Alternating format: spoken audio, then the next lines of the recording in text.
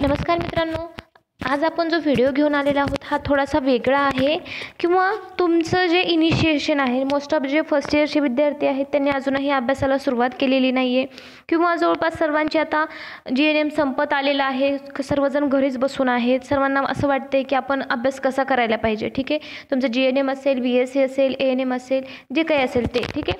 किंवा आजचा जो व्हिडिओ घेऊन आलेला आहे जे की एम पी एस सीचे विद्यार्थी आहेत किंवा जे अकरावी बारावीचे विद्यार्थी आहेत त्यांच्यासाठी देखील हा महत्त्वपूर्ण ठरणार आहे आहे म्हणून तुम्ही तुमच्या जे ओळखीचे असतील त्यांच्यासाठी तुम्ही हा शेअर करू शकता ठीक आहे? आजचा व्हिडिओचा थोडा टॉपिक वेगळा आहे तर माझ्या मते तुम्हाला जे आज मी जे की माझं मत आहे की अभ्यास कसा करावा किंवा सक्सेस होण्यासाठी स्टडी कसा करावा याचं याच्यावरती हा व्हिडिओ घेऊन आलेला आहे. आय होप हा व्हिडिओ सर्वांना आवडेल. आवडला तर नक्की लाईक करा आणि तुमच्या जे अभिप्राय आहेत किंवा क्वेश्चन्स असतील अजून तर ते आपल्या कमेंट बॉक्समध्ये तुम्ही कमेंट करू शकता. ठीक आहे?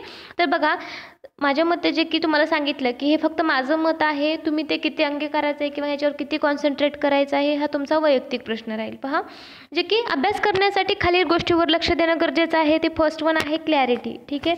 कोणतीही गोष्ट आपण जर बरोबर वाचली किंवा बरोबर अभ्यास करण्याचा प्रयत्न केला तर ते खूप काळ लक्षात राहत नाही.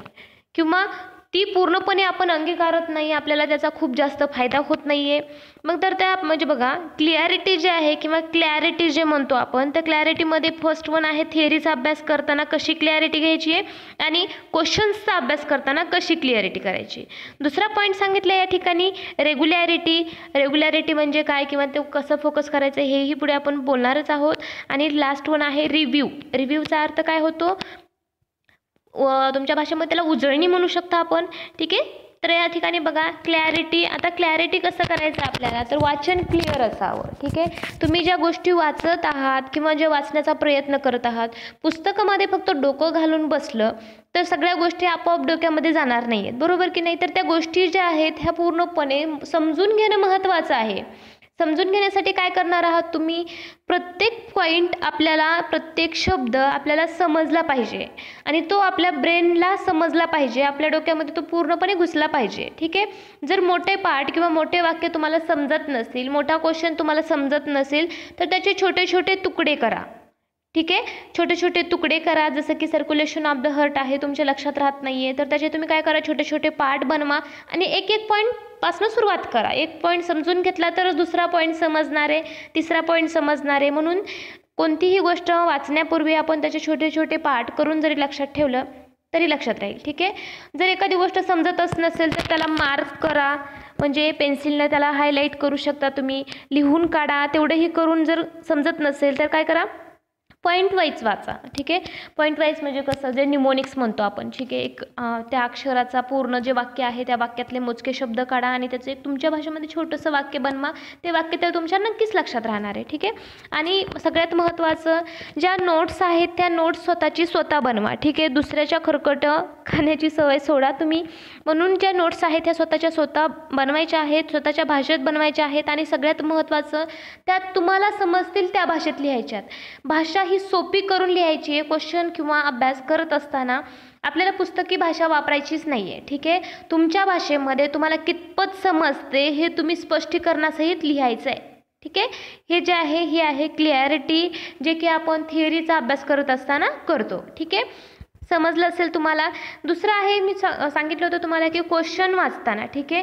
क्वेश्चन वाचत असताना किंवा सोडवताना प्राधान्य असलेल्या गोष्टी ज्या आहेत प्राधान्य म्हणजे काय? प्रायोरिटी ठीक आहे? तर याच्यावर गोष्ट जे की फोकस करायचा आहे. ठीक आहे?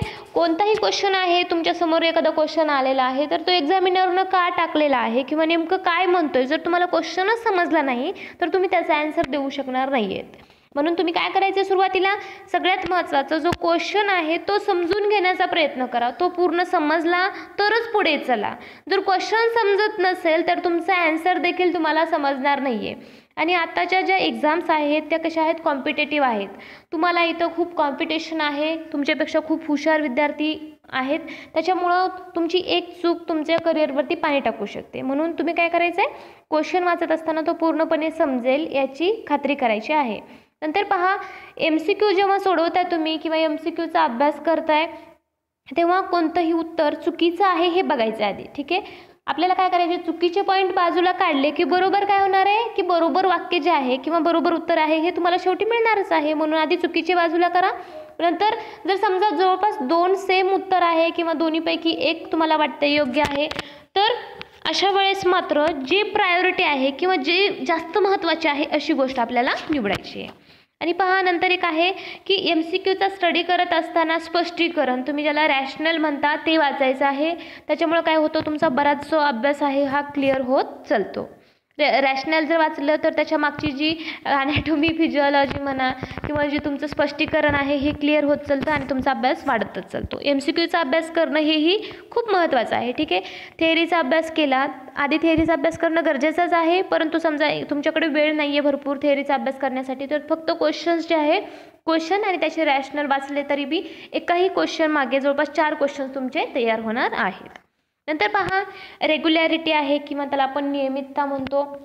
आता रे नियमितता कशी करायची तर पहिलं तर तुम्हाला टाईम टेबल बनवायचं आहे. तुमच्या एक्झामला किती दिवस राहिले ते पाहायचे आणि त्याच्यानुसार तुम्हाला टाईम टेबल बनवायचा आपला सिलेबसची जी कॉपी आहे ती पाहायची आहे आणि स्पेसिफिक दिवशी स्पेसिफिक सिलेबस आपल्याला कवरच झाला पाहिजे असं ठरवून ठेवायचं आहे. नियमितता आपल्याला त्याच्यातच बनवायची नियमित आपल्याला अभ्यास करायचाच आहे. कसं आज केल्या अभ्यास आजचा मूड होता. उद्या अभ्यासाचा मूड नाही आहे परवा अभ्यास करावंच वाटणार नाही. तेरवा दिवशी तर तुम्ही विसरूनच जाल ठीक आहे? मग त्याच्यासाठी काय करायचं? तुम्हाला एक टाईम टेबल बनवायचं की ह्या दिवशी आपल्याला हे कंप्लीट करायचंच आहे. कमीत कमी दोन तास जास्तीत जास्त सहा तास आठ तास तुमच्या वेळेनुसार तुम्ही काय करणार आहात? अभ्यास करा. नर्सिंग आहे म्हणजे ते एवढं सोपं नाही आहे तुम्ही जे आता जी कन्सेप्ट आहे आपल्या लोकांची की नर्सिंगमध्ये एवढं काही अवघड नाही आहे ही डोक्यातून काढून टाका. केलं तर काहीच अवघड नाही आहे परंतु एवढंही इझी घेऊ नका. ठीक आहे? म्हणून काय करायचं आहे नियमित वाचत राहायचं आहे की मी दोनच दिवसामध्ये तुम्ही एवढे आय आईन्स्टाईनसारखे हुशार नाही आहेत की दोनच दिवसामध्ये पूर्ण सिलेबस आहे तो कंप्लीट होणार नाही आहे म्हणून टाईम टेबल बनवा नियमित अभ्यास करा आणि सगळ्यात महत्त्वाचं कारणं देऊ नका. मला काम आहे माझ्या मागं बाळ आहे किंवा मला बाहेर फिरायचं आहे माझ्या मित्रांच्या लग्नाला नाही गेलं तर मला काही बोलतील. हे कारणं जे आहेत हे कारणं देऊच नका ठीक आहे? हे कारणं बाजूला ठेवा आणि स्टडी जी आहे ही पूर्णपणे वेगळी आहे वेगळी ठेवा. तुमचे जे कारणं देण्याची पद्धत आहे ती तुमच्या ब्रेनला सेट करते. ब्रेन ॲक्सेप्ट करतो आहे की माझ्याकडे भरपूर रिझन आहेत स्टडी न करण्यासाठी. म्हणून ब्रेनला तशी कारणंच देऊ नका किंवा दुसऱ्याला सांगत असताना देखील स्वतःचा बचाव करण्यासाठी वेगवेगळी कारणं देऊ नका. ठीक आहे? जे आपण त्याला बोलतो नाचता येईन अंगणवाकडं तुम्हाला अभ्यासच करायचा नसेल तर वातावरण चांगलं नाही आहे किंवा मॅडम चांगलं शिकवत नाही आहेत किंवा तुमच्या कॉलेज व्यवस्थित नाही आहे ह्या गोष्टीकडे तुम्ही काय करा कॉन्सन्ट्रेट करू नका. नंतर आहे गॅप घेऊ नका ठीक आहे? आज अभ्यास केला उद्या करायचा नाही परवा करायचा तेरवा दिवशी करायचा नाही असं जे कॉन्सन्ट्रेट अनकॉन्सन्ट्रेट आहे तुमचं ते काय करायचं आपल्याला? पूर्णपणे अवॉइड करायचं आहे गॅप घ्यायचाच नाही आहे रेग्युलर समजा तुम्हाला आज भरपूर अभ्यास झाला नाही परंतु कमीत कमी अर्धा तास तर तुम्ही वाचू शकता. मोबाईल जो आहे तुमचा तो चालत असताना तुम्ही ॲटलिस्ट क्वेश्चन्स आहेत ते तर पाहू शकता. म्हणून गॅप न घेता तुमचा अभ्यास जो आहे हे रेग्युलर सुरू ठेवायचा. तेव्हाच तुम्हाला जे सक्सेस आहे ते मिळणार आहे. ठीक आहे? नाही आम्ही एक्झामच्या आधी एक महिना अभ्यास करून पास होऊ शकतो अशा गोष्टी.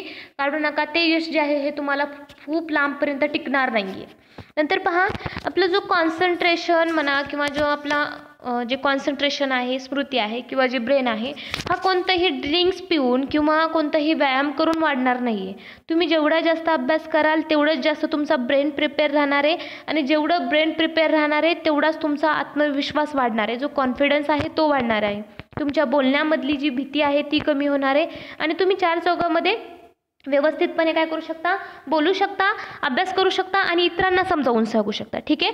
म्हणून स्वतःची सेल्फ इमेज जी आहे ती वाढवा स्वतःचा कॉन्फिडन्स वाढवा आणि अभ्यासाला लागा. ठीक आहे? काही क्वेश्चन्स असतील काही क्वेश्चन्स कसे सोडवायचे हे माहीत नसेल तर प्लीज कमेंट्स बॉक्समध्ये लिहा किंवा डायरेक्टली ज्यांच्याकडे माझा व्हॉट्सअप नंबर आहे त्यांनी मला डायरेक्टली कॉन्टॅक्ट करा. ठीक आहे? तर हा व्हिडिओ आवडला असेल तर सगळ्यांना माहिती आपल्याला काय करायचं आहे. ठीक आहे? म्हणजेच काय करायचं? आपल्याला लाईक करायचं आणि आपल्या फ्रेंड्ससोबत शेअर करायचं ठीक आहे? तर रिव्ह्यू करायचं सगळ्यात महत्त्वाचं रिव्ह्यू काय करायचं? बघा आता लास्ट पॉईंट आहे आपला. रिव्ह्यू करत असताना आपल्याला आपल्या चुका शोधायच्यात. समजा एखादी एक्झाम दिली आहे तुम्ही तर त्या एक्झाममध्ये तुम्हाला पन्नास टक्के मार्क्स आले. तर पन्नास टक्के मार्क्स का आलेत? किंवा आपलं कोणतं चुकलेलं आहे ह्याच्यावरती कॉन्सन्ट्रेट करा. त्या चुका परत होऊ नये याच्यासाठी आपल्यामध्ये काय चेंजेस करणं गरजेचं आहे हे पहा. आणि सगळ्यात महत्त्वाचं वारंवार रिव्हिजन करत राहा. आता वारंवार रिव्हिजन कसं करायचं आहे पहा. की फर्स्ट तुम्ही आता मी तुम्हाला सांगा मग अशी सांगितलं की आपल्याला काय करायचं आहे समजून घ्यायचं आहे पहिल्यांदा समजून घ्या. समजून घेतल्यानंतर पूर्ण एकदा वाचून काढा. वाचून काढल्यानंतर नोट्स बनवा त्याच्या. आणि नंतर ज्या तुमच्या जे नोट्स आहेत त्या स्वतःच्या स्वतः वाचा. आता ह्या जे नोट्स आहेत हे आज बनवल्यात. समजा एक तारीख आहे आज. तर आज बनवल्यानंतर जवळपास तुम्हाला पंधरा तारखेला म्हणजे पंधरा दिवसांनी परत काय करायचं आहे ज्या नोट्स आहेत त्या रिवाईज करायच्या. रिव्हिजन द्यायचं आहे त्याला. आणि पंधरा दिवसांनी रिव्हिजन दिले नंतर प्रत्येक लगेच दोन दिवसांनी त्याला रिव्हिजन द्यायची गरज नाही आहे तुम्ही प्रत्येक महिन्याला किंवा मंथली काय करा ते? रिव्हिजन करा. आणि एक्झामच्या आधी पहिला जे दोन दिवस आहेत त्यामध्ये जरी तुम्ही त्या नोट्स वाचल्या किंवा त्याच्या आधी आठ दिवस जरी तुम्ही त्याचा अभ्यास केला तरी सफिशियंट आहे. म्हणून कधीही अभ्यास केलेला वाया जात नाही तो तुमच्या ब्रेनमध्ये कुठे ना कुठे स्टोअर झालेला असतो आणि तो ऐनवेळी तुम्हाला आठवतो. ठीक आहे? म्हणून जास्तीत जास्त रिव्हिजन द्या. तुमचं जे ब्रेन आहे हे ॲक्टिव्ह नसलं तरी देखील काय होतं? तुमच्या ज्या ब्रेनमध्ये ह्या गोष्टी गेलेल्या असतात ते एक्झामच्या वेळेस तुम्हाला नक्की आठवतात. ठीक आहे? किंवा तुम्हाला जो तुमचा ब्रेन आहे जे लिहायला सांगतो ते योग्यच सांगतो ते कुठंतरी त्यांच्या ब्रेनमध्ये स्टोअर झालेलं असतं. ठीक आहे? जर काही क्वेश्चन असतील तर नक्की विचारा. व्हिडिओ आवडला असेल तर लाईक करा नक्की. थँक्यू